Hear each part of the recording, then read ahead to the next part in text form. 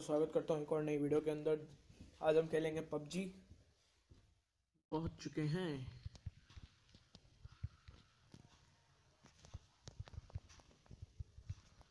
और मैं ऐसी पागलपंतियाँ कर रहा हूँ।